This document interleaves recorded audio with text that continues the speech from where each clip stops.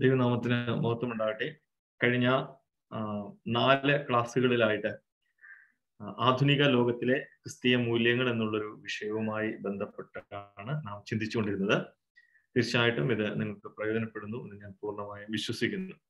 ഇന്ന് നമ്മൾ മറ്റൊരു പ്രധാനപ്പെട്ട മൂല്യത്തെ കുറിച്ചാണ് ചിന്തിക്കാനായിട്ട് പോകുന്നത്. കഴിഞ്ഞ ക്ലാസ്സിൽ നാം സെൽഫ് കൺട്രോൾ നമ്മുടെ ഇന്ദ്രിയ ജയം എന്നുള്ള വിഷയത്തെ ആസ്പദമാക്കിയാണ് നാം ചിന്തിച്ചത്.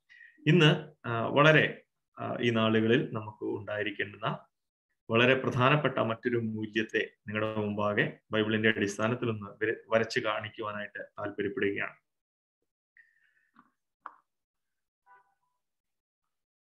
ആധുനിക ലോകത്തിലെ ക്രിസ്തീയ മൂല്യങ്ങൾ. ഇന്ന് നമ്മൾ ചിന്തിക്കാനായിട്ട് പോകുന്നത് ബി താങ്ക്ഫുൾ നന്ദിയുള്ളവരായിരിക്കുക എന്നുള്ള ഒരു മൂല്യത്തെ കുറിച്ചാണ് നന്ദിയുള്ളവരായിരിക്കുക. എന്താണ് ഈ മൂല്യത്തിന്റെ പ്രത്യേകതകൾ? ഇത് ഈ കാലയളവിൽ ഇത് പ്രത്യേകിച്ച് ഊന്നി പറയേണ്ടുന്ന ആവശ്യം എന്താണ്? നമ്മൾ നന്ദിയുള്ളവരല്ലേ?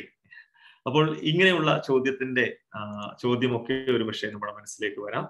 മുഖവര എന്നോണം ചില കാര്യങ്ങൾ ഞാൻ ഓർമ്മിപ്പിക്കട്ടെ. നമ്മുടെ മലയാളത്തിൽ മലയാള ഭാഷയിൽ നന്ദി ഉപകാരം പരോപകാരം എന്നിങ്ങനെയൊക്കെയുള്ള ഒത്തിരി വാക്കുകളുണ്ട്. എന്താണ് ഇവ തമ്മിലുള്ള വ്യത്യാസം? നന്ദി എന്ന് പറയുന്നത് ഒരാൾ ചെയ്ത ഉപകാരത്തിന് അല്ലെ നന്മയ്ക്ക് ചെയ്ത ഒരു പ്രവൃത്തിക്ക് കൊടുക്കുന്ന മാനമാണ് നന്ദി. എന്ന് പറഞ്ഞാൽ ഇപ്പൊ എനിക്കൊരാൾ ഒരു നല്ല കാര്യം ചെയ്തു അല്ലെ എന്തെങ്കിലും തന്നു അല്ലെ എന്നെ ഒരു നല്ല വാക്ക് പറഞ്ഞു. അപ്പൊ ആൾ എന്നോട് കാണിച്ച നല്ല മനസ്സിന് ഞാൻ അദ്ദേഹത്തിന് കൊടുക്കുന്ന മാനമാണ് നന്ദി എന്ന് പറയുന്നത്. ഇനി പരോപകാരം ഇത് മലയാളത്തിലെ മറ്റൊരു വാക്കാണ്. എന്താണ് പരോപകാരം? പരൻ എന്ന് പറഞ്ഞാൽ മറ്റൊരാൾ. ഉപകാരം എന്ന് പറയുമ്പോൾ നന്മ അല്ലെങ്കിൽ ഒരു പ്രവൃത്തി എന്നുള്ള ഒരു ആശയമാണ് അപ്പോൾ മറ്റൊരാൾക്ക് ചെയ്യുന്ന ഉപകാരമാണ് പരോപകാരം. ഇനി മറ്റൊരു വാക്കാണ് പ്രത്യുപകാരം. എന്താണ് പ്രത്യുപകാരം? ഒരാൾ ചെയ്ത ഉപകാരത്തിന് തിരികെ ചെയ്യുന്ന ഉപകാരമാണ് പ്രത്യുപകാരം. അപ്പോൾ ഒരാൾ എനിക്കൊരു നന്മ ചെയ്തു. അതിന് പകരമായിട്ട് ഞാൻ അദ്ദേഹത്തിനും ഒരു നന്മ ചെയ്യുന്നു എന്നുള്ളതാണ് പ്രത്യുപകാരം എന്നുള്ള വാക്കുകൊണ്ട് ഉദ്ദേശിക്കുന്നത് നമ്മൾ നമ്മുടെ കൊച്ചുമക്കളെ സാധാരണ പഠിപ്പിക്കാറുണ്ട്. ഒരാൾ ചോദിക്കുകയാണ് മോനെ ഹൗ ആർ യു ഇപ്പൊ നമ്മളോടാണ് ചോദിക്കുന്നെങ്കിൽ നമ്മൾ I M fine thank you അല്ലെ? കൊച്ചുമക്കൾ അങ്ങനെ പറഞ്ഞില്ലേ നമ്മൾ പറയും. മോനെ അങ്കിളിനോട് അങ്ങനെ പറ അല്ലെ ആന്റിയോട് അങ്ങനെ പറ എന്ന് നമ്മൾ പറയും. അതുപോലെ ഏതെങ്കിലും ഒരു കടയിൽ എന്തെങ്കിലും ഒരു സാധനം വാങ്ങിയാൽ നമ്മുടെ കൊച്ചു മക്കളോട് നമ്മൾ പറയാനായിട്ട് നമ്മൾ ഉറപ്പിക്കും. അത് അവർ പറഞ്ഞു. നന്ദി പറ. താങ്ക് യു എന്ന് പറ മോനെ. അല്ലെ? മോളെ താങ്ക് യു എന്ന് പറ എന്ന് നമ്മുടെ മക്കളോട് പറയുവാനായിട്ട് നമ്മൾ മുതിരും. എന്നാൽ ശരിക്കും നമ്മൾ നന്ദി പറയുന്നവരാണോ? അപ്പൊ ഹൗ ആർ യു എന്ന് ചോദിച്ചാൽ I am fine thank you എന്ന് തീർച്ചയായിട്ടും അതാണ് ആ ഇംഗ്ലീഷ് ഫ്രൈസിന്റെ പൂർണ രൂപം എന്ന് പറയുന്നത്. ഐ ആം ഫൈൻ എന്ന് പറഞ്ഞു കഴിയുമ്പോൾ തന്നെ തീർച്ചയായിട്ടും താങ്ക് യു എന്നുള്ളത് പറയണം. അപ്പോൾ നമ്മുടെ മലയാള ഭാഷയിൽ എന്തൊക്കെയുണ്ട് വിശേഷം എന്ന് ചോദിച്ചാൽ നമ്മൾ സാധാരണ പറയുന്നത് ആ കുഴപ്പമില്ല. തിരക്കേടില്ല. ഇങ്ങനെ പോകുന്നു. അപ്പൊ ഓരോ ഡിസ്ട്രിക്റ്റിൽ അല്ലെ ഓരോ നിലയിലാണ് പറയുന്നത്. ശരിക്കും തൃശ്ശൂർ ഞാൻ ഇപ്പോൾ താമസിക്കുന്നത് തൃശ്ശൂരാണ്. ഈ തൃശ്ശൂരുകാരോട് നിങ്ങൾ ചോദിക്കുകയാണ് എന്തുകൊണ്ട് വിശേഷം എന്ന് ചോദിച്ചാൽ പൊതുവെ ഇവിടുത്തുകാർ പറയുന്ന ഒരു നല്ല റെസ്പോണ്ടാണ്. നല്ല വിശേഷം. ഞാൻ കേരളത്തിലെ മറ്റുള്ള അങ്ങനെയുള്ള ജില്ലകളിൽ അങ്ങനെ കേട്ടിട്ടില്ല. ഞങ്ങളെ ആലപ്പുഴക്കാർ ആലപ്പുഴയിലാണെങ്കിൽ തന്നെ എന്തുകൊണ്ട് വിശേഷം? ആ കുഴപ്പമില്ല. അല്ലെ തരക്കേടില്ല. ആ ഇങ്ങനെ പോകുന്നു. അപ്പൊ അതൊക്കെയാണ് ഒരു നാട്യശൈലി എന്ന് പറയുന്നത്. പക്ഷെ ഇവിടെ എന്ന് പറയുമ്പോൾ നല്ല നല്ല വിശേഷം. എന്ന് പറഞ്ഞാൽ നല്ല വർത്തമാനം എന്ന് പറയും. അവർ തിരിച്ചങ്ങനെ പറയും. ഈ നന്ദിയെക്കുറിച്ച് നമ്മുടെ നാട്ടുംപുറത്ത് ഭാഷയിൽ ഒത്തിരി പ്രയോഗങ്ങളുണ്ട്. അതിനെ പഴഞ്ചൊല്ലുകൾ എന്നാ പറയുന്നത്. പഴഞ്ചൊല്ലുകൾ ഏതെങ്കിലും മതത്തിന്റെയോ ഏതെങ്കിലും ഒരു അടിസ്ഥാനത്തിൽ നിന്ന് വന്ന വന്നതല്ല. പഴമക്കാരുടെ അത് ചിലപ്പോൾ റിലീജിയസ് ആയിട്ടുള്ള ചില ചുവകൾ അതിനുണ്ടാകാം. എന്നാൽ ഈ നന്ദിയോടുള്ള ബന്ധത്തിലുള്ള ചില പഴമൊഴികൾ നമുക്കൊന്ന് നോക്കാം. ഒന്ന് ഉണ്ട ചോറിന് നന്ദി വേണം അല്ലെ? അപ്പൊ ഇത് എന്താ നീ കഴിച്ച ഭക്ഷണത്തിന് നന്ദി വേണം എന്നുള്ളൊരു പഴമൊഴിയാണ്. ഇതിന്റെ വിശദീകരണത്തിന്റെ ആവശ്യമില്ല. പിന്നെ ഉള്ളതാണ് പാൽ കൊടുത്ത കൈക്ക് തന്നെ കൊത്തി. ഇത് നന്ദിയില്ലായ്മയെ സൂചിപ്പിക്കാൻ വേണ്ടിയിട്ടുള്ളൊരു പഴമൊഴിയാണ്. ഏഹ് പാൽ കൊടുത്ത കൈക്ക് തന്നെ കൊത്തി എന്ന് പറഞ്ഞാൽ ഞാൻ വളർത്തി കൊണ്ടുവന്നു. എനിക്ക് തന്നെ ഇട്ട് എന്താ ആ എന്താ മോശമായിട്ട് എന്നോട് പെരുമാറി എന്നുള്ളൊരു ആസ്പെക്റ്റ് ആണ് അവിടെ ഉള്ളത്. പിന്നെ ഒരെണ്ണമാണ് നിശബ്ദമായ നന്ദി ആർക്കും പ്രയോജനപ്പെടുന്നില്ല. അല്ലെ? അപ്പൊ നന്ദിയുള്ള മനസ്സുണ്ട് പക്ഷെ അത് പ്രകടമാക്കുന്നില്ല. പക്ഷെ അതുകൊണ്ട് ആർക്കും പ്രയോജനമില്ല. ചെയ്ത ആൾക്ക് പോലും അറിയുന്നില്ല ആൾ നന്ദിയുള്ളവനാണോ എന്നുള്ളത്. ഇതൊരു പഴമൊഴിയാണ്. പിന്നെ ഉള്ളതാണ് ചോറ് തന്ന കൈക്ക് കടിക്കരുത്. അപ്പൊ ഇത് രണ്ടാമത്തെ പഴമൊഴിയുടെ ഒരു പോസിറ്റീവ് ആസ്പെക്ട് ആണിത്. ചോറ് തന്ന കൈക്ക് കടിക്കരുത്. കാരണം ഒരു ഉപകാരം ചെയ്ത ആളെ ദ്രോഹിക്കരുതെന്നാണ് അർത്ഥം. പിന്നെ ഒരെണ്ണമാണ് അന്നമിട്ട വീട്ടിൽ കന്നം കെട്ടരുത്. അപ്പൊ ഇത് ശരിക്കും ഒരു പഴയ മലയാളം വാക്കുകളാണ്. ഈ കന്നം എന്ന് പറയുന്നത് ആയുധം എന്നാണ് അർത്ഥം. എന്ന് പറഞ്ഞാൽ നമുക്ക് ചോറ് തന്ന വീട്ടിൽ അവിടെ പോയി യുദ്ധം ചെയ്യരുതെന്നാണ് അർത്ഥം. അവരോട് അവരെ ദ്രോഹിക്കരുത്. അല്ലെ അവരോട് മോശമായി പെരുമാറരുത്. വന്ന വഴി മറക്കരുത്. ഇത് നമുക്ക് പരിചിതമായ ഒരു പഴ പഴഞ്ചൊല്ലാണ്. വന്ന വഴി മറക്കരുത് കേട്ടോ. എന്ന് പറഞ്ഞാൽ മുമ്പ് ചെയ്ത ഉപകാരം ചെയ്ത ആളുകളെ മറന്നു പോകരുത് എന്നുള്ള ആശയമാണ്.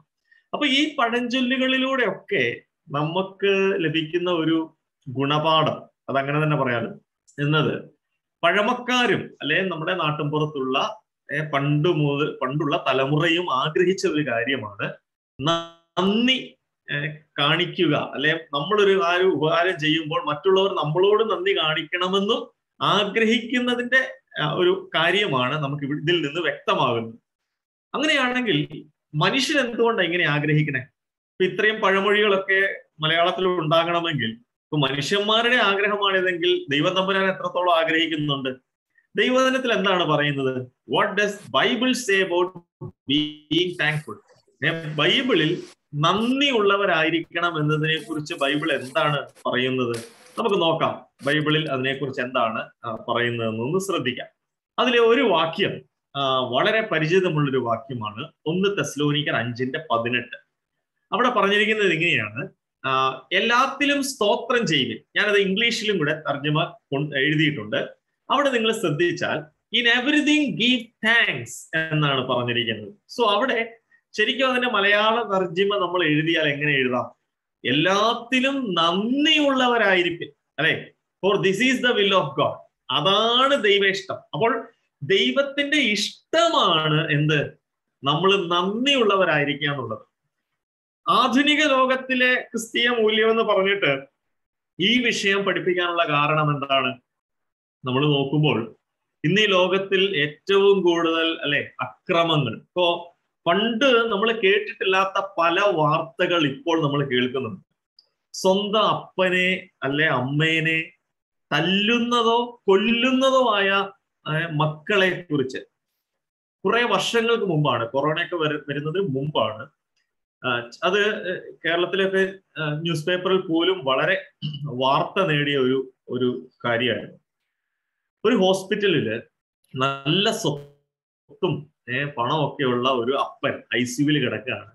അപ്പം കുറെ മക്കളുണ്ട്. പക്ഷെ മകൾ നിർബന്ധപൂർവം ഏഹ് അപ്പനെ ശുശ്രൂഷിക്കാൻ എന്നുള്ള നിലയിൽ അകത്ത് കയറി. എന്നിട്ട് ഈ അപ്പന്റെ കയ്യിൽ നിന്ന് ചില ഡോക്യുമെന്റേഷൻ തമ്പിൽ ഇംപ്രഷൻ വെച്ച് വാങ്ങുകയും പിന്നീട് അപ്പനെ കൊലപ്പെടുത്തുകയും ചെയ്യുന്ന ദൃശ്യങ്ങൾ ഹോസ്പിറ്റലിലെ ക്യാമറയിൽ പതിഞ്ഞതായിട്ട് കണ്ടു. അതിനുശേഷം അത് വലിയൊരു വിവാദമായ ഒരു ഒരു പ്രശ്നത്തിലോട്ട് നയിക്കുകയുണ്ടായി. അപ്പോൾ ഈ കാലഘട്ടത്തിലേക്ക് നാം വരുമ്പോൾ മനുഷ്യന് നന്ദിയില്ലായ്മ എന്നുള്ളൊരു ഒരു ഒരു വലിയ കാര്യം. നമ്മളൊരു ഒരു കാര്യം ഉപകാരം ചെയ്യുമ്പോൾ പിന്നീട് മുമ്പ് കണ്ടിട്ടില്ല കണ്ട പരിചയം പോലും ഇല്ലാത്ത നിലയിലുള്ള നടപ്പും ഭാവവുമാണ് പലപ്പോഴും ഉള്ളത്. അപ്പോൾ ഈ കാലയളവിൽ നമുക്ക് ഏറ്റവും വേണ്ട മറ്റൊരു മൂല്യമാണ് നന്ദിയുള്ളവരായിരിക്കുക എന്നുള്ളത്. അത് നമ്മൾ കൊച്ചു മക്കളെ പഠിപ്പിക്കാൻ മാത്രമല്ല നമ്മളും അങ്ങനെ തന്നെ ആയിരിക്കണം എന്നുള്ളത് ദൈവം ആഗ്രഹിക്കുന്ന കാര്യമാണ്. എല്ലാത്തിനും സ്തോത്രം ചെയ്യാൻ. എല്ലാത്തിനും നന്ദിയുള്ളവരായിരിക്കും. ഈ എല്ലാത്തിനും നന്ദിയുള്ളവരായിരിക്കും എന്ന് പറയുമ്പോൾ അല്ലെ നമുക്ക് ദൈവം തന്നിട്ടുള്ളതാ എല്ലാ കാര്യം. ഇപ്പൊ നമ്മൾ അധ്വാനിക്കുന്നവരാണെങ്കിൽ ഇപ്പൊ നിങ്ങളെല്ലാരും അല്ലെ പലരും ജോലി ചെയ്യുന്നവരാണ്. നിങ്ങൾ ജോലി ചെയ്യുന്നവരാണ് എന്നിരുന്നാൽ തന്നെയും നിങ്ങൾ നമുക്ക് ലഭിക്കുന്ന ശമ്പളം ലോ ജോലി ചെയ്ത് ലഭിക്കുന്ന ശമ്പളം നമ്മുടെ അധ്വാനം കൊണ്ടാണ്. ശരിയാണ്. പക്ഷെ നമുക്ക് അധ്വാനിക്കാനായിട്ട് അല്ലെ ഇന്ന് രാവിലെ എഴുന്നേൽക്കുവാനായിട്ടുള്ള ആരോഗ്യം തരുന്നത് ദൈവമാണ്. നമ്മൾ കഴിക്കുന്ന ഭക്ഷണം ശാസ്ത്രീയമായിട്ട് പറയുമ്പോൾ ഭക്ഷണത്തിൽ നിന്നാണ് അല്ലെ സയന്റിഫിക് ആയിട്ട് അങ്ങനെയൊക്കെ പറയാം. പക്ഷേ നമുക്ക് ജോലി ചെയ്യുവാനുള്ള ബുദ്ധിയും കഴിവും സാമർഥ്യവും ആരോഗ്യവും ഒക്കെ തരുന്നത് ദൈവമാണ്. അപ്പോൾ നമ്മുടെ ജീവിതത്തിൽ നമുക്ക് ലഭിക്കുന്ന എന്തിനും ദൈവത്തോട് നന്ദി പറയുവാനായിട്ട് നമുക്ക് സാധിക്കണം എന്നത് ദൈവം ആഗ്രഹിക്കുന്നു. അതാണ് ദൈവേഷ്ടം. This is the will of God in Christ Jesus എന്നാണ് പറഞ്ഞിരിക്കുന്നത്. ഇനി മറ്റൊരു വാക്യം നോക്കുക. എഫ് എസ് അഞ്ചിന്റെ ഇരുപത്. യേശുക്രിസ്തുവിന്റെ നാമത്തിൽ ദൈവവും പിതാവുമായവന് എല്ലായ്പ്പോഴും എല്ലാത്തിനു വേണ്ടി. അപ്പോൾ മുമ്പുള്ള വാക്യത്തിൽ എല്ലാത്തിനു വേണ്ടി ഇന്നോ എല്ലാത്തിനും എന്ന് മാത്രമുള്ളപ്പോൾ ഇവിടെ ഒരു അഡീഷണൽ അബ്ജക്റ്റീവ് അഡ്വേർബോട് ചേർത്തിരിക്കുകയാണ്. Giving thanks always for all things always എപ്പോഴും എന്നും കൂടെ പറഞ്ഞിട്ടുണ്ട്. അത് ദൈവത്തോടുള്ള ബന്ധത്തിലാണ്. അപ്പോൾ ഇവിടെ മലയാളത്തിൽ തർജമ ചെയ്ത് വരുമ്പോൾ എല്ലാത്തിനും വേണ്ടി സ്തോത്രം ചെയ്യുവൻ എന്നാണ് പറഞ്ഞിരിക്കുന്നത്. അപ്പോൾ ഇംഗ്ലീഷിൽ നോക്കുക. Giving thanks always for all things ദൈവത്തിന് എപ്പോഴും നന്ദി പറയുക എന്നുള്ളതാണ് നാം ഇവിടെ മനസ്സിലാക്കേണ്ടത്. അപ്പോൾ അനേക വേദപുസ്തകത്തിലെ ഭക്തന്മാരായിട്ടുള്ള ആളുകൾ ദൈവത്തിന് നന്ദി പറഞ്ഞതാണ് നമ്മൾ പലപ്പോഴും കീർത്തനങ്ങളായിട്ട് വായിക്കുന്നത്. നൂറ്റി മൂന്നാം സങ്കീർത്തനം നമുക്കൊക്കെ സുഖ ഒരു വേദഭാഗമാണ്. എൻ മനമേ യഹോവയെ വാഴ്ത്തുക. അവന്റെ ഉപകാരങ്ങൾ ഒന്നും മറക്കരുത്. So not even a single you know single one ഒരു ഒരെണ്ണം പോലും മറക്കരുത് എന്നുള്ളത് താൻ തന്നോട് തന്നെ പറയുകയാണ് സങ്കീർത്തനക്കാരൻ. അപ്പോൾ ഈ വാക്യത്തിൽ നിന്ന് ഒരു കാര്യം നമുക്ക് മനസ്സിലാക്കാനായിട്ട് കഴിയും. എന്താ? ഉപകാരങ്ങൾ മറക്കാത്തവർക്കേ നന്ദി പറയാൻ സാധിക്കും. ഉപകാരങ്ങൾ മറക്കുന്നവര് എങ്ങനെ നന്ദി പറയും? അല്ലെ? ഇപ്പൊ ഒരാളൊരു ഉപകാരം ചെയ്തു. പക്ഷെ ആ ഉപകാരം തന്നെ മറന്നുപോയി. അപ്പൊ ഉപകാരം മറന്നുപോയി സമം ഉപകാരം ചെയ്ത ആളെ മറന്നുപോയി. ഉപകാരവും മറന്നു ഉപകാരം ചെയ്ത ആളെയും മറന്നു മറന്നു. എങ്കിൽ നന്ദി പറയുവാനും ഓട്ടോമാറ്റിക്കലി മറക്കും. അപ്പോൾ അതുകൊണ്ട് സങ്കീർത്തനക്കാരൻ പറയുകയാണ് എന്മനമേ യഹോബയെ വാഴ്ത്തുക. സ്തുതിക്കുക അല്ലെ നന്ദി പറയുക. അവന്റെ ഉപകാരങ്ങൾ ഒന്നും മറക്കരുത്. അപ്പോൾ അവിടെ നിന്ന് നമ്മൾ ഒരു ഡെഫിനിഷൻ എടുക്കുക. എന്താ? ഉപകാരങ്ങൾ മറക്കാത്തവർക്കേ നന്ദി പറയാൻ സാധിക്കും. അപ്പൊ എന്ത് ചെയ്യണം? ഉപകാരങ്ങൾ ഓർത്തിരിക്കണം അല്ലെ? ഇവിടെ ഇതിൽ നിന്നുള്ള ഒരു കൺക്ലൂഷൻ എന്ന് പറയുന്നത് മലയാളം ബൈബിളിൽ എന്തുകൊണ്ടാണ് സ്തോത്രം ചെയ്യുക ഏ? അല്ലെങ്കിൽ വാഴ്ത്തുക എന്നൊക്കെ പറഞ്ഞിട്ടുള്ളത് തീർച്ചയായിട്ടും നമുക്കിതിൽ നിന്നും ലഭ്യമാകുന്ന ഒരു കൺക്ലൂഷൻ ദൈവത്തോട് നന്ദി പറയുക സമം അവന് സ്തുതി അർപ്പിക്കുക. അത് തീർച്ചയായിട്ടും ആരാധനയുമായി ബന്ധപ്പെട്ടതാണ്. ഇപ്പൊ മനുഷ്യനോട് ഒരു നന്ദി പറയുമ്പോൾ തീർച്ചയായിട്ടും ഒരു ഉപകാരത്തിനുള്ള ഒരു ഒരു ബഹുമാന സൂചകമാണ്. ശരിക്കും അതൊരു ബഹുമാനമാണ് നന്ദി പറയുക. അപ്പോൾ നാം ദൈവത്തെ ബഹുമാനിക്കുകയാണ്. അതുകൊണ്ടാണ് നാം നന്ദി പറയുന്നു സ്തോത്രം ചെയ്യുന്നു സ്തുതിക്കുന്നു. കാരണം ഒരു മനുഷ്യനേക്കാളുപരിയായി ദൈവമേ അങ്ങ് എല്ലാമാണ് ഏർ നീ ഉപ അങ്ങ് ഈ ഉപകാരം ചെയ്തുകൊണ്ട് അങ്ങ് എന്റെ എല്ലാമാണ് എന്നുള്ളത് കൂടി നാം നാം അട്രിബ്യൂട്ട് ചെയ്യുകയാണ് ദൈവത്തിന്. അപ്പോൾ നന്ദി പറയുന്നത് ആരാധനയുമായി ബന്ധമുള്ളതാണ്. അതുകൊണ്ടാണ് ഈ വേദഭാഗം തന്നെ നൂറ്റിമൂന്നാം സങ്കീർത്തനം. അല്ലെ നമുക്ക് പലപ്പോഴും സഭാ സഭായോഗങ്ങളിലൊക്കെ വായിക്കുന്ന ഒരു ഒരു വേദഭാഗമാണ്. സങ്കീർത്തനം മുപ്പത്തി അഞ്ചിന്റെ പതിനെട്ടിൽ നമ്മൾ വായിക്കുന്നു I will give the thanks അവിടെയും മലയാളത്തിൽ തർജമ ചെയ്തിരിക്കുന്നത് ഞാൻ മഹാസഭയിൽ നിനക്ക് സ്തോത്രം ചെയ്യും. ബഹുജനത്തിന്റെ മധ്യേ നിന്നെ സ്തുതിക്കും. കണ്ടോ? അപ്പോൾ ഇതൊരു എന്താണ് സിനോണിമസ് പാരലലിസം ആണ്. എന്ന് പറഞ്ഞാൽ ഒരു രണ്ട് നമുക്കറിയാം സാധാരണ ഈ സങ്കീർത്തനം സദൃശവാക്യങ്ങൾ സഭാപ്രസംഗി ഇങ്ങനെയുള്ള പൊയറ്റിക്കൽ ലിറ്ററേച്ചർ അപ്പൊ അത് അതിന്റെ എഴുത്ത് ശൈലി എന്ന് പറയുന്നത് നമ്മുടെ വാക്യത്തെ വിഭജിച്ചിട്ട് ഉള്ളത്. ഓരോ വാക്യത്തിനും രണ്ട് സെന്റ് രണ്ട് വരികൾ അപ്പൊ ആദ്യത്തെ വരി പിന്നെ രണ്ടാമത്തെ വരി. അടുത്ത വാക്യത്തിൽ ഒരു വരി രണ്ട് വരി. അല്ലെങ്കിൽ ചിലതിന് മൂന്ന് വരികൾ ഉണ്ടാവും. ഈ സിനോണിമസ് പാരലലിസം എന്ന് പറയുമ്പോൾ ആദ്യത്തെ വരിയിൽ പറഞ്ഞിരിക്കുന്ന കാര്യത്തെ കുറച്ചുകൂടെ വിശദീകരിച്ച് അല്ലെങ്കിൽ കുറച്ചുകൂടി വിശദീകരിച്ച് പറയുന്നത് ഒരു ശൈലിയാണ്. ആദ്യത്തെ വരി മറ്റു വാക്കുകൾ ഉപയോഗിച്ച് പറയുന്നത് മറ്റൊരു ശൈലിയാണ്. ആദ്യത്തെ വരിയിൽ നിന്നും വ്യത്യസ്തമായിട്ടുള്ള രണ്ടാമത്തെ വരി മറ്റൊരു ശൈലിയാണ്. അപ്പോൾ ഇങ്ങനെയുള്ള പാരലലിസംസ് നമുക്ക് ഹീബ്രു ലിറ്ററേച്ചറിൽ പ്രത്യേകിച്ച് ഈ പോയറ്റിക്കൽ ലിറ്ററേച്ചറിൽ കാണാം. ഇതൊരു സിനോണിമസ് പാരലലിസം ആണ് എന്താണ് അതിന്റെ അർത്ഥം? ഒന്നാമത്തെ വരി ഇസ് ഈക്വൽ ടു രണ്ടാമത്തെ വരി. എന്താണ്? ഞാൻ മഹാസഭയിൽ നിനക്ക് സ്തോത്രം ചെയ്യും. പിന്നെയോ? മഹാസഭയിൽ എന്ന് പറഞ്ഞാൽ ബഹുജനം. യെസ് മഹാസഭ എന്ന് പറഞ്ഞാൽ വലിയ ആൾക്കൂട്ടം ജനാവലി. അവരുടെ മധ്യേ ഞാൻ നിനക്ക് സ്തോത്രം ചെയ്യും. സമം ഞാൻ നിന്നെ സ്തുതിക്കും. അപ്പോൾ രണ്ടും ഒരേ ആശയം തന്നെയാണ്. നോക്കുക അതുകൊണ്ടാണ് നന്ദി പറയുക. അപ്പോൾ നാം നന്ദിയുള്ളവരല്ല എങ്കിൽ സമം ഞാൻ യഥാർത്ഥത്തിൽ ദൈവത്തെ ആരാധിക്കുവാൻ മുതിരാത്ത ഒരു അല്ലെങ്കിൽ ഹൃദയത്തിൽ നിന്നും ഞാൻ ആരാധിക്കാത്ത ഒരു വ്യക്തിയാണെന്നാണ് അതിന്റെ അർത്ഥം. ഈ ടേപ്പ് റെക്കോർഡർ ഓൺ ചെയ്യുന്ന പോലെ ഞാൻ എന്തോ പറയുന്നു. നോ അതല്ല ദൈവം ആഗ്രഹിക്കുന്നത് നാം നന്ദിയുള്ളവരാകുക. നാം ദൈവം നമുക്ക് ചെയ്ത ഓരോ ഉപകാരങ്ങൾക്കും നന്ദിയുള്ളവരാകുക. ഇനി മറ്റൊരു വാക്യം നോക്കുക. സങ്കീർത്തനം അമ്പത്തിരണ്ടിന്റെ ഒൻപത്. I will give the thanks for forever അവിടെയും മലയാളത്തിൽ നമ്മൾ വായിക്കുന്നത് അത് നീ ചെയ്തിരിക്കൊണ്ട് ഞാൻ നിനക്ക് എന്നും സ്തോത്രം ചെയ്യും എന്നും നന്ദി പറയും.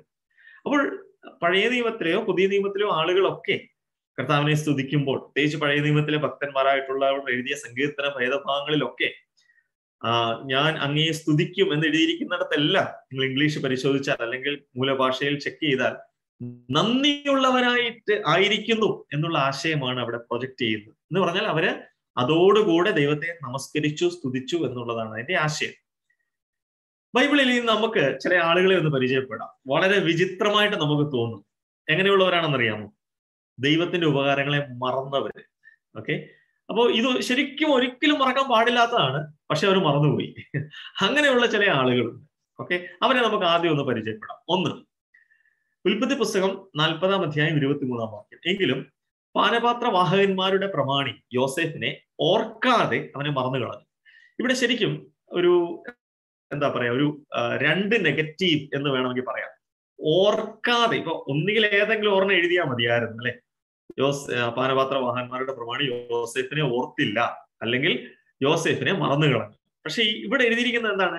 ഓർക്കാതെ അവനെ മറന്നു കളഞ്ഞു. It's almost like a purposeful you know purposefully forgot ചെയ്ത പോലെ.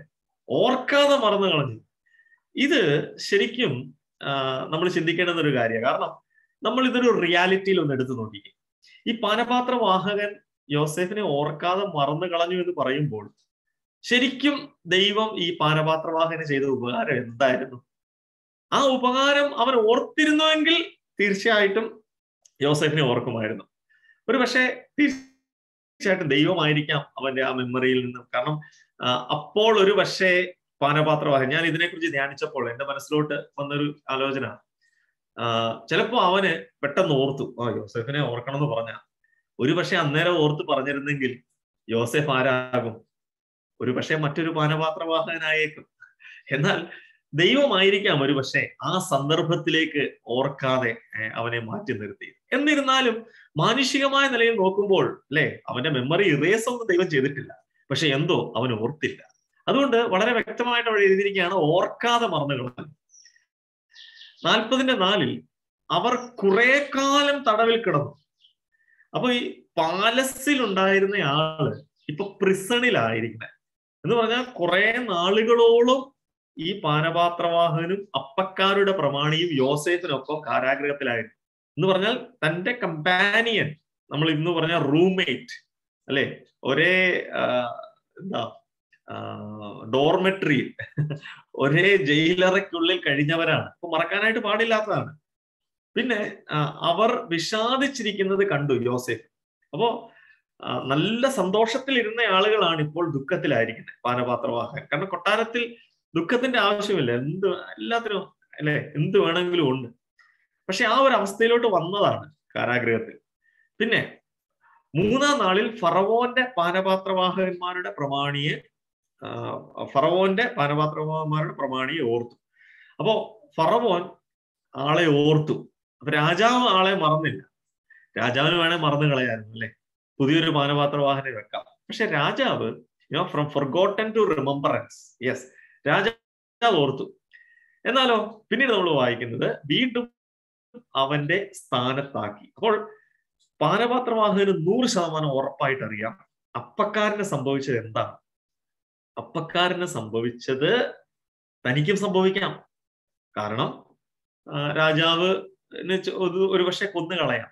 പക്ഷെ യോസേഫ് പറഞ്ഞതുപോലെ അതാണ് അവിടുത്തെ ഹൈലൈറ്റ് യോസേഫ് പറഞ്ഞതുപോലെ താൻ ഇവിടെ മടങ്ങി വന്നുവെങ്കിൽ മാനുഷികമായിട്ട് ചിന്തിക്കുമ്പോൾ നമ്മോട് ആ കാര്യം പറഞ്ഞ വ്യക്തിയെ നാം മറക്കാൻ പാടില്ല. അപ്പൊ നമ്മളൊരു ഇന്റർവ്യൂവിന് പോയിരിക്കുക കിട്ടുമെന്ന് ഒരു പ്രതീക്ഷയില്ല.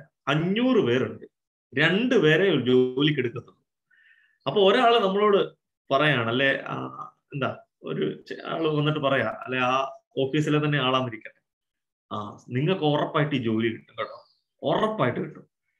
അപ്പൊ എനിക്ക് ആ ജോലി കിട്ടുമ്പോൾ തീർച്ചയായിട്ടും എനിക്ക് അപ്പോയിന്റ്മെന്റിൽ കിട്ടുമ്പോൾ തന്നെ ഒരു മിന്നായം പോലെയെങ്കിലും ആ മനുഷ്യന്റെ മുഖം എന്റെ മനസ്സിൽ വരും.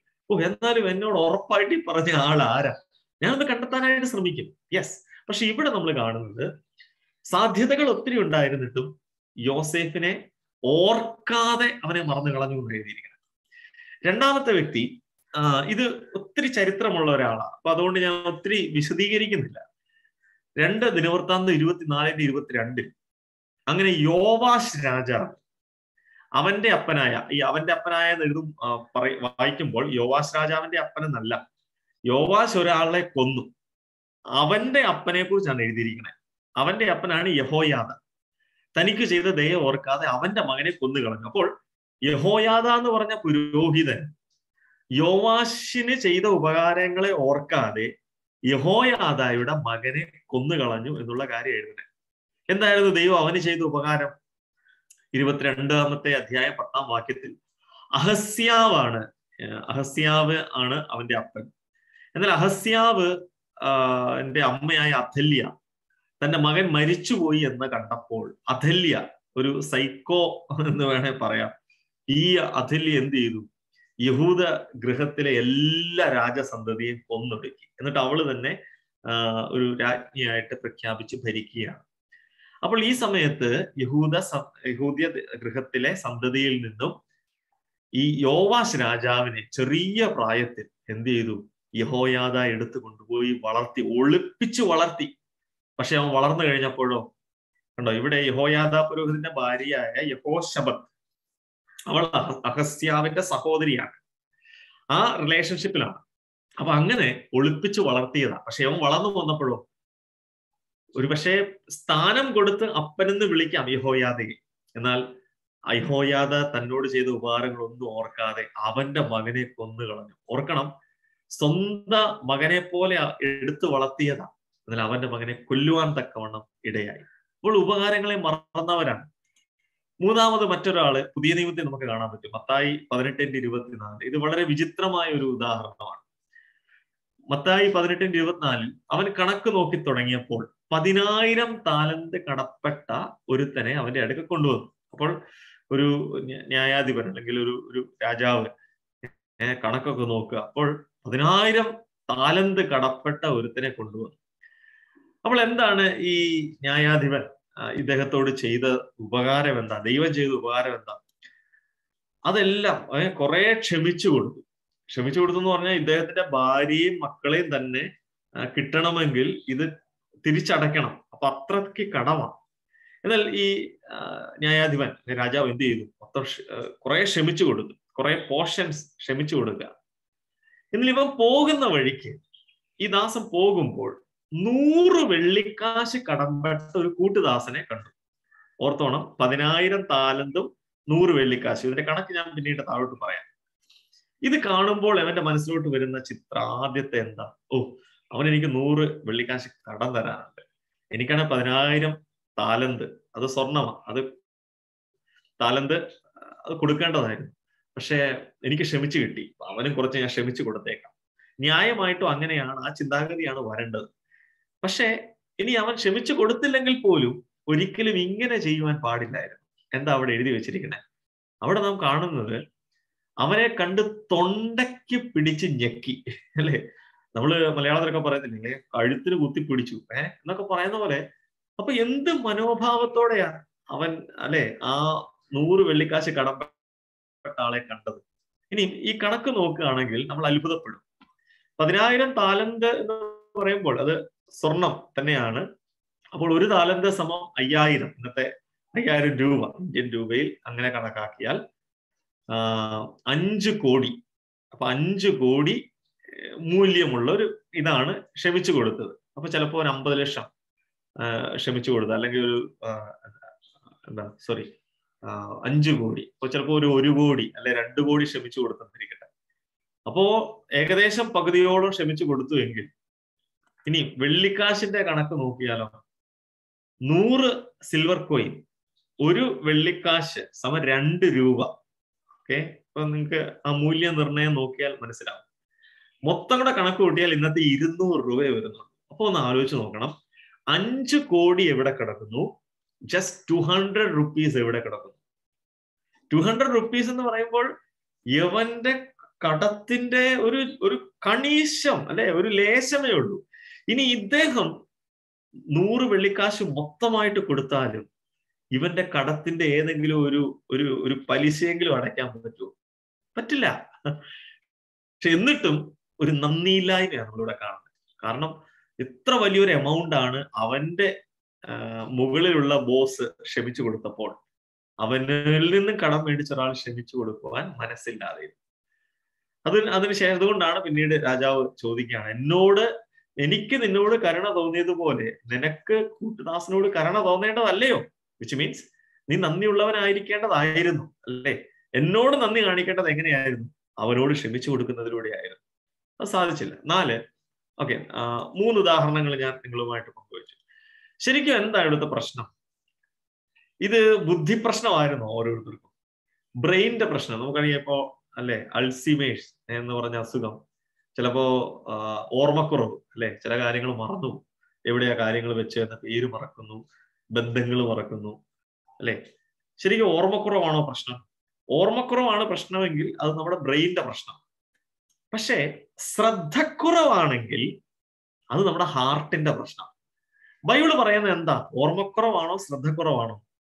ഈ വാക്യം വ്യക്തമായിട്ട് നമുക്ക് പറഞ്ഞു തരും എന്തിന്റെ കുറവാണ് സങ്കീർത്തനം തൊണ്ണൂറിന്റെ പന്ത്രണ്ട് പറയുന്നത് ഞങ്ങൾ ജ്ഞാനമുള്ളൊരു ഹൃദയം പ്രാപിക്കത്തക്കവണ്ണം ഞങ്ങളുടെ നാളുകളെ എണ്ണുവാൻ ഞങ്ങളെ ഉപദേശിക്കണം.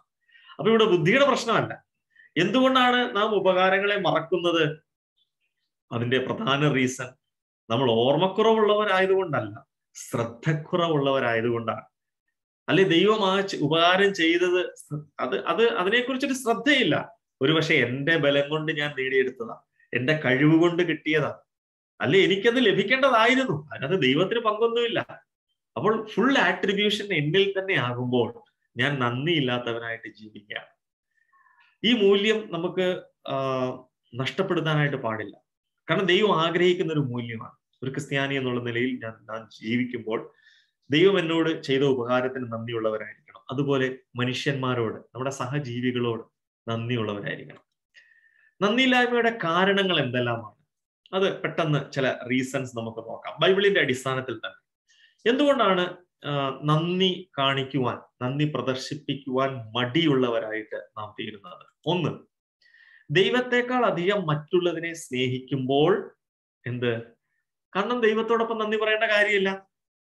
കാരണം ദൈവത്തോട് എനിക്ക് സ്നേഹമല്ല. ഈ മൂല്യത്തെക്കുറിച്ച് നാം മുമ്പ് പഠിച്ചിട്ടുള്ളതാണ് ദൈവസ്നേഹം. ഹൊശയുടെ പുസ്തകം ഞാൻ ഈ വേദഭാഗം കഴിഞ്ഞ ഏതോ ഒരു ക്ലാസ്സിൽ റെഫർ ചെയ്തിട്ടുള്ളതാണ്. ഇസ്രയേൽ പറയുന്ന ഒരു കാര്യമാണ് ഫസ്റ്റ് പേഴ്സണിൽ പറയുകയാണ് എനിക്ക് അപ്പവും വെള്ളവും ആട്ടുരോമവും ശണവും എണ്ണയും പാനീയവും ഇതെല്ലാം അല്ലെ ലൈവ്ലിഹുഡിന് അല്ലെ ആവശ്യ ദൈനംദിന ജീവിതത്തിന് ആവശ്യമുള്ള സാധനങ്ങളാണ്. എനിക്ക് കഴിക്കാനുള്ള ഫുഡ് വെള്ളം പിന്നെ എനിക്ക് എന്റെ ക്ലോത്തിങ് പിന്നെ എന്റെ ഷെൽട്ടർ അല്ലെ എന്റെ എല്ലാ കാര്യങ്ങളും തരുന്ന എന്റെ ജാരന്മാരുടെ പിന്നാലെ പോ ഞാൻ പോകുമെന്ന് പറഞ്ഞുവല്ലോ. ഇസ്രയേൽ പറയാണ് ഇതൊക്കെ എനിക്ക് തരുന്നവരുടെ പിന്നാലെ ഞാൻ പോകും. ശരിക്കും ഇസ്രയേലിന്റെ പ്രശ്നം ഇവിടെ എന്താ? ഇസ്രയേലിന്റെ പ്രശ്നം എന്ന് പറയുന്നത് Israel is not recognizing the source എവിടെ നിന്നാണ് ശരിക്കും ഇത് കിട്ടുന്നത് എന്നുള്ളത് മനസ്സിലാവുന്നില്ല. അതുകൊണ്ടാ. അതിന്റെ കാരണം എന്താ? അവർ ദൈവത്തെ സേവിക്കുന്നില്ല. അവർ പോകുന്നത് ഈ വിഗ്രഹങ്ങളുടെ പിന്നാലെയാണ്.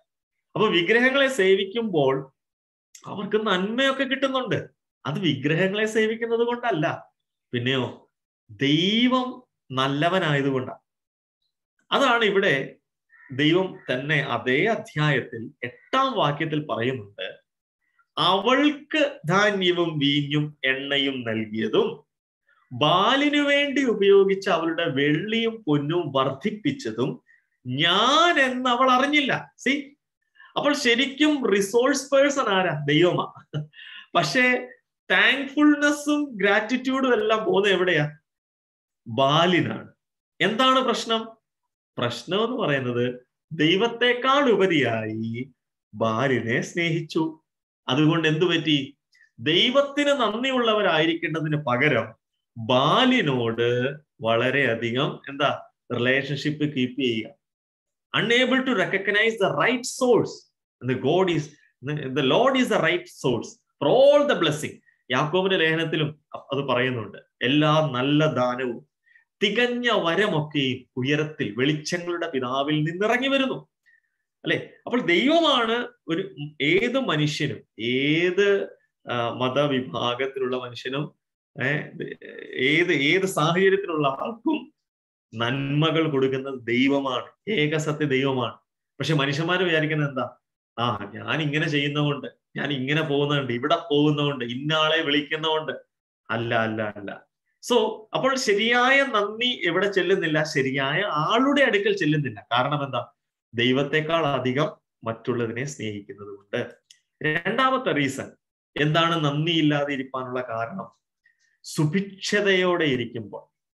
ശരിക്കും ഈ കാലഘട്ടത്തിൽ അതൊരു ഫാക്റ്റാണ് പ്രത്യേകിച്ച് നമ്മുടെ മക്കളോട് അല്ലെ? ഇന്നത്തെ തലമുറയോട് പ്രത്യേകിച്ച് ചില കാര്യങ്ങൾ പറയാൻ വളരെ ബുദ്ധിമുട്ടാണ് നിങ്ങളൊക്കെ ഇത് കേട്ടിട്ടുണ്ടോ എന്ന് എനിക്ക് അറിയത്തില്ല ചില പേരൻസ് ഒക്കെ മക്കളോട് പണ്ടത്തെ കാര്യങ്ങളൊക്കെ പറയുമ്പോൾ മോനെ അപ്പനും അമ്മയൊക്കെ പട്ടിണി കിടന്നിട്ടുണ്ട്. ഞങ്ങളൊക്കെ ഇല്ലായ്മയുടെ കാലത്ത് അല്ലെ? ഞങ്ങൾ കഞ്ഞിയും പയറും ഒക്കെ കുടിച്ചിട്ടുണ്ട്. ഇങ്ങനെയുള്ള കാര്യങ്ങളൊക്കെ പറയുമ്പോൾ ഇപ്പോഴത്തെ പിള്ളേര് സെറ്റൊക്കെ എന്ത് പറയും? ആ അപ്പം പഴയ കാര്യമൊന്നും പറഞ്ഞ് ഏഹ് ഞങ്ങളെ ഫീലൊന്നും അടുപ്പിക്കണ്ട. അത് അപ്പന്റെ നൊസ്റ്റാൾജിയാണ് അമ്മയുടെ നൊസ്റ്റാൾജിയാണ് ഏഹ് ഇതൊന്നും പറയണ്ട. ഇതൊന്നും ഞങ്ങളുടെ അടുക്ക് ചെലവാകുകയില്ല അതിനൊന്നും ഒരു വിലയില്ലാത്ത രീതിയിലാണ് ഇപ്പോഴത്തെ പിള്ളേര് അല്ലെ ഒരു പക്ഷെ റെസ്പോണ്ട് ചെയ്യുക. നമ്മൾ കഞ്ഞിയും പയറും കുടിച്ച കാര്യവും അല്ലെങ്കിൽ മുണ്ടും മുറുക്കി കൊടുത്ത കാര്യവും സൈക്കിളിൽ ചവിട്ടി പോയ കാര്യമൊന്നും പറഞ്ഞാൽ ഒരു വിലയില്ല. അത് നമ്മൾ വെറുതെ പറയാവുന്നേ ഉള്ളൂ. കാരണം ഇന്ന് അല്ലെ മക്കളോടുള്ള ബന്ധത്തിലായാലും അപ്പന്മാരോ എല്ലാവരും അധ്വാനിച്ച് പരമാവധി കാര്യങ്ങൾ അവർക്ക് കൊടുക്കുന്നുണ്ട്. ഈ സുഭിക്ഷത ഇങ്ങനെ ഒരു പ്രശ്നവും കൂടെ വരുത്തും. എന്താ?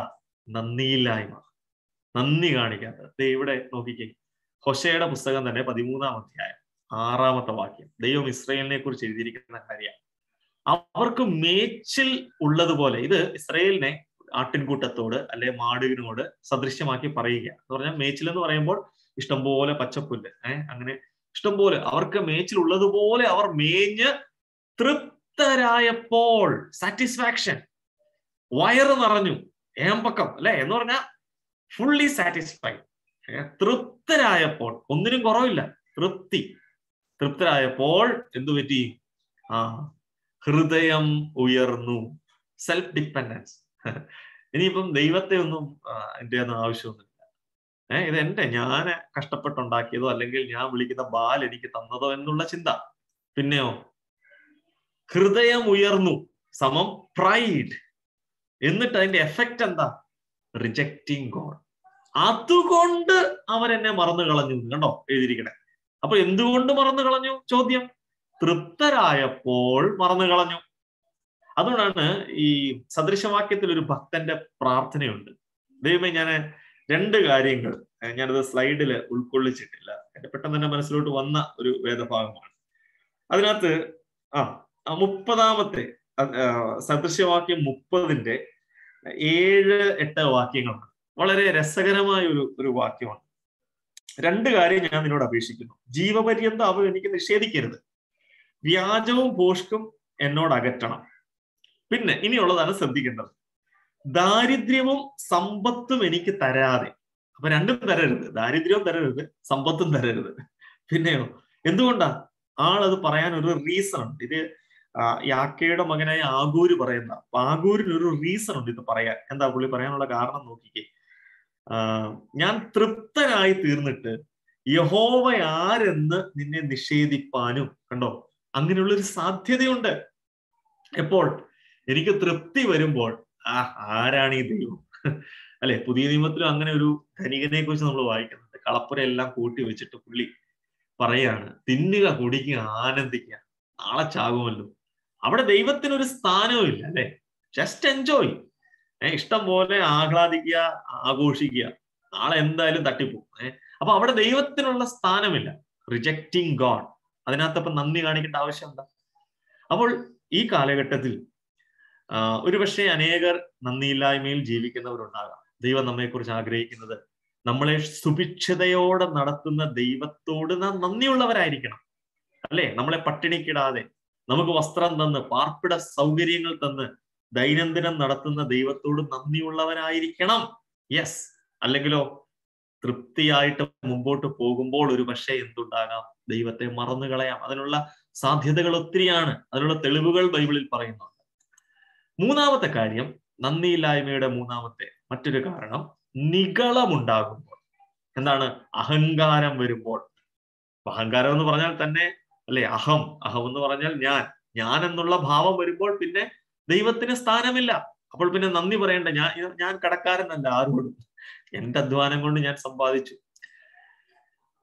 ആവർത്തന പുസ്തകത്തിൽ ദൈവം ഇസ്രായേൽ മക്കൾക്ക് കൊടുത്തൊരു വാണിംഗ് ആണിത് നിന്റെ ഹൃദയം നികളിപ്പാതിരിപ്പാനും എന്നിട്ട് ഇത് മക്കളോട് പറഞ്ഞു കൊടുക്കണം എന്നുള്ള നിലയിൽ ദൈവം ഇസ്രായേലിനോട് പറയുന്ന കാര്യമാണ് നിങ്ങൾ അവിടെ ചെന്നിട്ട് തട്ടുള്ള വീടും ഒക്കെ പാർക്കുമ്പോൾ നിങ്ങളുടെ മക്കൾ നിങ്ങളോട് ചോദിക്കും ഏഹ് ഇതെങ്ങനെ എങ്ങനെ കിട്ടി എങ്ങനെ സമ്പാദിച്ചു? ഞാൻ എന്റെ ഭാഷയിലൊക്കെ പറയാം. അപ്പോൾ ദൈവം പറഞ്ഞ കാര്യമാണിത്. എന്റെ ശക്തിയും എന്റെ കൈയുടെ ബലവും ഈ സമ്പത്ത് ഉണ്ടാക്കി എന്ന് നിന്റെ ഹൃദയത്തിൽ പറയാതിരിപ്പാൻ സൂക്ഷിക്കണം. ഉറച്ചു പറയേണ്ടതല്ല ഹൃദയത്തിൽ പോലും അങ്ങനെ ചിന്തിക്കരുത്. എന്നിട്ട് പറഞ്ഞിരിക്കുന്ന കാര്യം എന്താ? നിന്റെ ദൈവമായ യഹോവയെ നീ ഓർക്കണം. എന്താ അതിന്റെ അർത്ഥം? ഞാൻ ഇതൊന്ന് ഒരല്പം ഒന്ന് വിശദീകരിക്കാൻ ആഗ്രഹിക്കാം. ഈ ദൈവം ഇസ്രായേൽ മക്കൾക്ക് യാഗങ്ങളും അതോടൊപ്പം ഉത്സവങ്ങളും കൊടുത്തിട്ടുണ്ട്. ഈ ഉത്സവങ്ങൾ എന്ന് പറയുന്നത് ദൈവത്തിന് നന്ദി പറയാൻ വേണ്ടിയുള്ള ആഘോഷങ്ങളാണ്. എന്നാൽ അത് മാത്രമല്ല ഈ ദൈവത്തിന് നന്ദി പറയുക എന്ന് പറയുമ്പോൾ അത് കുടുംബത്തോടൊപ്പം ചേർന്നാണ് ഇത് ആഘോഷിക്കേണ്ടത്. അതിൽ എടുത്തു പറയേണ്ടുന്ന ചില ഉത്സവങ്ങളുണ്ട്. ഈ പെസഹ അതുപോലെ കൂടാരപ്പെരുന്നാൾ എല്ലാ ഉത്സവങ്ങളും ഒരുമിച്ചാണ് ആഘോഷിക്കേണ്ടത്. പക്ഷെ ഇത് രണ്ടെണ്ണം ഞാൻ എടുത്തു പറയാനുള്ള കാരണം. പെസഹ ആഘോഷിക്കുമ്പോൾ പണ്ട് അവരുടെ കൂടാരവാതിൽ കൂടാരവാതിൽ എന്ന് പറയുമ്പോൾ അതിന് ടെന്റിന്റെ വാതിൽ ഒരിക്കലും അതിനകത്ത് ഈ കട്ടള കാൽ സെപ്പറേറ്റ് ആയിട്ട് ഒത്തിരി അതൊരു സാധാ കമ്പ് കൊണ്ടുള്ള കട്ടളക്കാലാണ് കാരണം ടെന്റിന്റെ ഡോറാണ്. എന്നാൽ പിന്നീട് ഇവർ വന്ന് പാർക്കുമ്പോൾ തട്ടിട്ട വീടുകളിലൊക്കെ ഇവർ പാർക്കും. അപ്പൊ അന്നത്തേതെന്ന് പറയുമ്പോൾ നല്ല പോളിഷ്ഡ് ആയിട്ടുള്ള നല്ല കട്ടിളക്കാലുകൾ അപ്പൊ പുതിയ തലമുറയ്ക്ക് ഒരു ആടിനെ കൊന്നിട്ട് ബ്ലഡ് അവിടെ തേക്കുന്നത് കാണുമ്പോൾ സ്വാഭാവികമായിട്ട് അപ്പന്മാരോട് ഒരു ചോദ്യം ഉണ്ടാവും അപ്പ നമ്മൾ നല്ല വീട് എന്തിനാ ഈ ബ്ലഡ് തേച്ച് ഏർ മോശമാക്കണേ? അപ്പൻ ഇത് എന്നാ കാണിക്കണേ? അപ്പൊ അപ്പം പറയണം മോനെ എടാ ഇത് ഈ രണ്ടു നില വീട് അല്ലെ ഈ മൂന്ന് നില വീടുണ്ടല്ലോ. ഇത് ശരിക്കും നമുക്കിവിടെ വരാനുള്ള ഒരു യോഗ്യതയില്ലായിരുന്നു. നമ്മൾ നിന്റെ എന്റെ അപ്പന്റെ അപ്പൻ അവരൊക്കെ കൂടാരത്തിലാ മരുഭൂമിയിലാ താമസിച്ചത്. അവർക്ക് ഇതുപോലുള്ള വീടൊന്നുമില്ല. പക്ഷേ നമ്മൾ ശരിക്കും അവിടെ പെട്ടുപോകേണ്ടവരാ എവിടെ?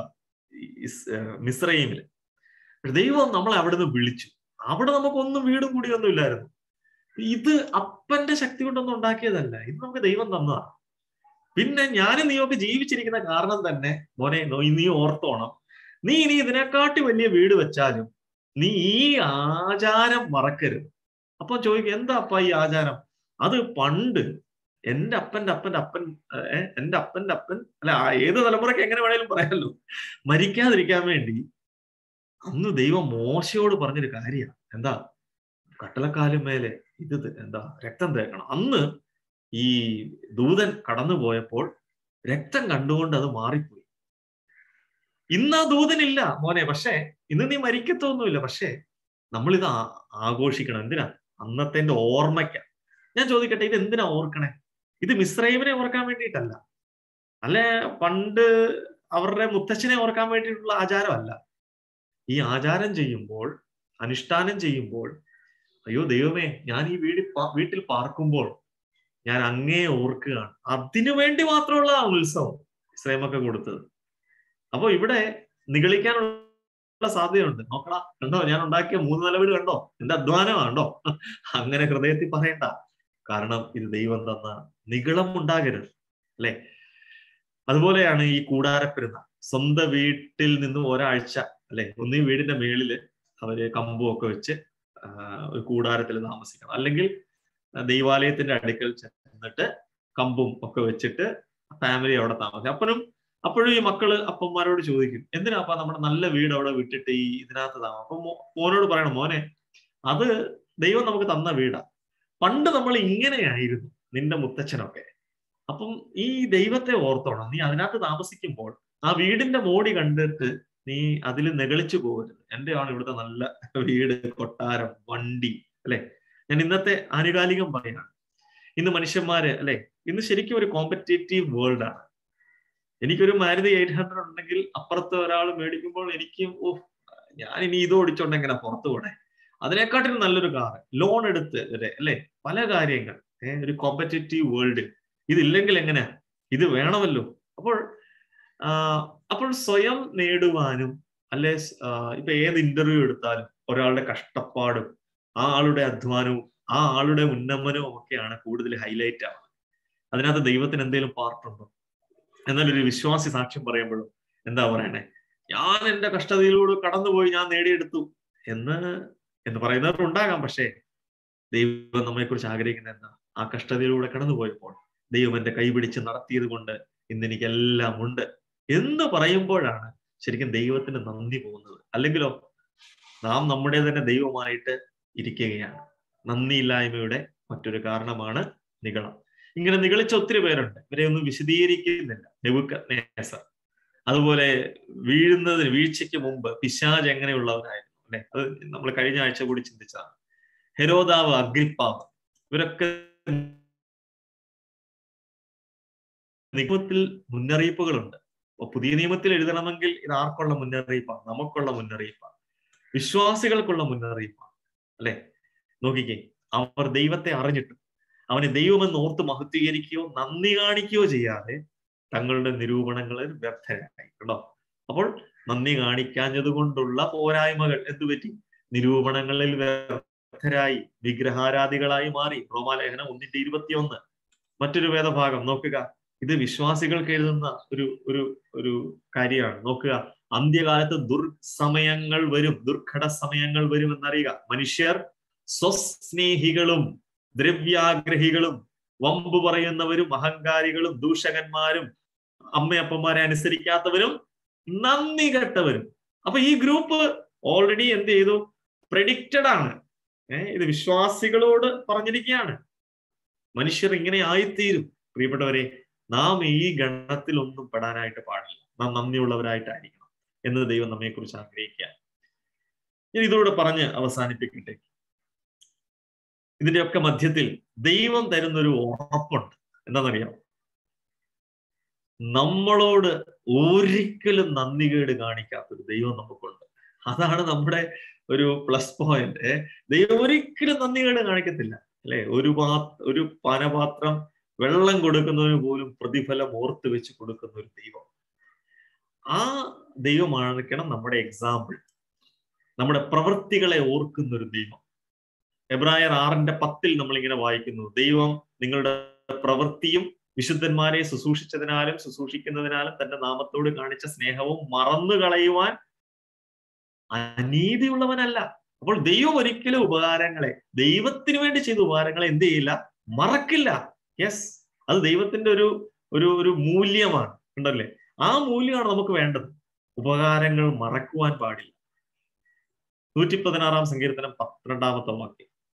ആ സങ്കീർത്തനക്കാരൻ പറയുകയാണ് യഹോ എനിക്ക് ചെയ്ത സകല ഉപകാരങ്ങൾ ഞാൻ അവന് എന്ത് പകരം കൊടുക്കും? ശരിക്കും ആളൊരു പെർപ്ലക്സ്ഡ് മൈൻഡിലാണ് നിൽക്കണേ ഓ ദൈവമേ ഇതൊക്കെ കൂട്ടിക്കഴിഞ്ഞാൽ ഞാൻ എന്ത് പകരം തരാനാണ് എനിക്ക് ആകെ ഉള്ളത് രക്ഷയുടെ പാനപാത്രം. എടുത്ത് രഹോവയുടെ നാമം വിളിച്ചപേക്ഷിക്കും ദൈവമേ അങ്ങ് നൽകിയ നന്മ അങ്ങ് നൽകിയ ഈ ജീവിതം എടുത്തിട്ട് ഞാൻ യഹോവയുടെ നാമം വിളിച്ചപേക്ഷിക്കും അല്ലെ?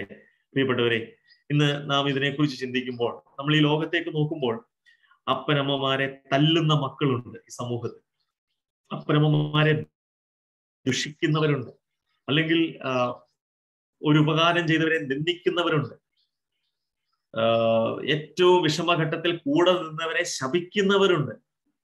അങ്ങനെ ലോകം വഷളായിക്കൊണ്ടിരിക്കുന്ന ഈ സാഹചര്യത്തിൽ നാം എന്താണ് ചെയ്യേണ്ടത്? കർത്താവ് യേശു ക്രിസ്തു എന്താ ചെയ്തേ? കർത്താവ് ചെയ്യുന്നതാണ് ഏറ്റവും വലിയ ഉപകാരം. എന്താ? സ്വന്തം ജീവൻ പാപികൾക്ക് വേണ്ടി തരുവാൻ ഈ ലോകത്തിലേക്ക് വന്നു. അതാണ് ദൈവം മനുഷ്യജാതിക്ക് വേണ്ടി ചെയ്ത ഏറ്റവും വലിയ ഉപകാരം. യഹൂദന് വേണ്ടി ചെയ്ത ഉപകാരം. അല്ലെ? ജാതികൾക്ക് വേണ്ടി ചെയ്തു. എന്നാൽ ഉപകാരം ചെയ്യാമെന്ന് യേശുവിനെ മനുഷ്യന്മാരെന്താ ചെയ്തത്? ക്രൂശിൽ തറച്ച് കൊല്ലുവാനായിട്ട് തീരുമാനിക്കുകയായിരുന്നു അല്ലെ? നമ്മോടുള്ള ബന്ധത്തിൽ നമുക്കൊന്ന് ചിന്തിക്കാം. ദൈവത്തോട് നന്ദി പറയുവാൻ മറന്നുപോയ സന്ദർഭങ്ങൾ എന്റെ ജീവിതത്തിലുണ്ടോ? കഴിഞ്ഞ ദിവസങ്ങളിൽ കഴിഞ്ഞ നാളുകളിൽ കഴിഞ്ഞ ആഴ്ചയിൽ ഇന്നേ ദിവസം ദൈവമേ എന്തെല്ലാം കാര്യങ്ങളാണ് ഞാൻ നന്ദി പറയാൻ മറന്നുപോയത്? ഒരുപക്ഷെ ഒരു ബേക്കറിയിൽ നിന്ന് ഞാനൊരു മിഠായി മേടിക്കുമ്പോൾ അവിടെയുള്ള ഇരിക്കുന്ന ഞാൻ എന്റെ പൈസ കൊടുത്ത് മേടിച്ചതാണെങ്കിലും ഞാൻ നന്ദി പറയുവാൻ മടിക്കാതെ എന്റെ മക്കൾക്ക് നന്ദി പറയണമെന്ന് നിർബന്ധം പിടിക്കുന്ന ഞാൻ ഹോട്ടലിൽ എനിക്ക് ഫുഡ് സെർവ് ചെയ്ത വെയിറ്ററോട് താങ്ക് യു എന്ന് പറയുവാൻ വളരെ മുന്നിട്ട് നിൽക്കുന്ന ഞാൻ ദൈവത്തോട് നന്ദി പറയുന്നതിൽ എത്രമാത്രം പ്രാഗൽഭ്യം കാണിക്കുന്നുണ്ട് ഞാൻ എന്നോട് തന്നെ ചോദിക്കേണ്ടുന്ന ഒരു ചോദ്യമാണ്. രണ്ട് ദൈവത്തോടും ഉപകാരം ചെയ്തവരോടും നന്ദി പറയുന്നത് ഒരു ശീലമാക്കുക. അങ്ങനെയാണെങ്കിൽ തീർച്ചയായിട്ടും ദൈവം നമ്മെ സഹായിക്കും. നമ്മുടെ നമ്മുടെ ഇതൊരു ശീലമാക്കണം. അതാണ് ദൈവം പറയുന്നത്. എന്ത്? ഇതാണ് ഇതല്ലോ നിങ്ങളെ കുറിച്ച് ദൈവത്തിന്റെ ഇഷ്ടം. നന്ദിയുള്ളവരായിട്ട് ആയിരിക്കാം. ഈ ലോകം തെറ്റായ കാര്യങ്ങൾ നമ്മെ പഠിപ്പിക്കാം. എന്നാൽ നാം നന്ദി എന്നുള്ള നന്ദി കാണിക്കുക എന്നുള്ള മൂല്യം ദൈവത്തോടും സഹജീവികളോടും വെച്ചു പുലർത്തേണ്ടത് വളരെ ആവശ്യമാണ്. ആ മൂല്യം വരുന്ന ദിവസങ്ങളിൽ വർദ്ധിച്ചു വരുവാൻ സർവകൃപാലുവായ ദൈവം സഹായിക്കട്ടെ എന്ന് ആശംസിച്ചുകൊണ്ട് ഇന്നത്തെ ഈ ലഘു ചിന്തയിൽ നിന്നും ഞാൻ വിരമിക്കുന്നു. ദൈവനാമം എന്നും മഹത്വപ്പെടുമാറാകട്ടെ.